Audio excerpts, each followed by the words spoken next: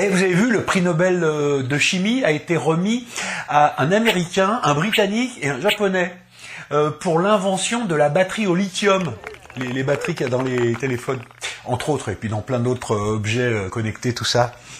Et, et c'est grâce à Bibi, hein Ah bah ouais, c'est grâce à moi. Non, parce que je t'explique. Parce que les mecs, je les connais en fait. Un jour, on buvait un coup euh, dans un bistrot, euh, parce qu'on est potes.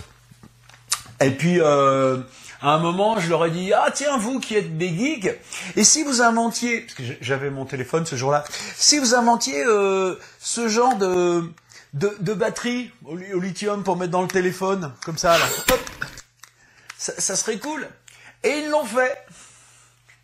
Et ils ont eu le prix Nobel.